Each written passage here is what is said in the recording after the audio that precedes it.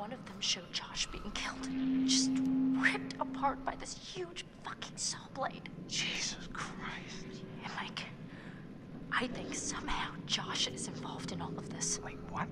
How? I'm really not sure, but there was a message from his doctor, and it mentioned a plan that was like a bad idea, and now he's dead. What the fuck is going on around here? There's a door here. It won't open. Can you unlock it from your side?